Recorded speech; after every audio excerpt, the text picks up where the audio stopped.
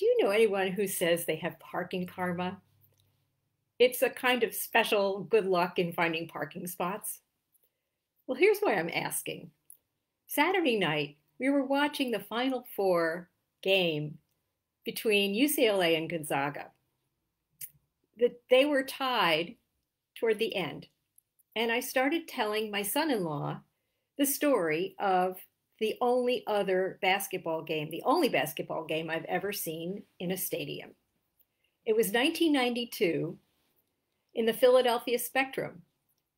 Duke and Kentucky were tied in overtime, and they kept one upping each other until finally, in the last two seconds of the game, Christian Laettner turned, he dribbled, and then he threw this incredible shot that landed him the game for Duke.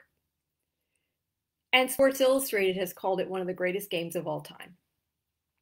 So, as I was describing this story, UCLA and Gonzaga went into overtime.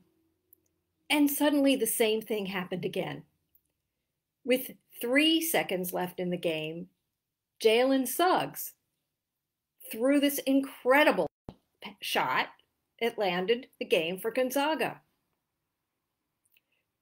Did you know I also have parking karma? Have a great day.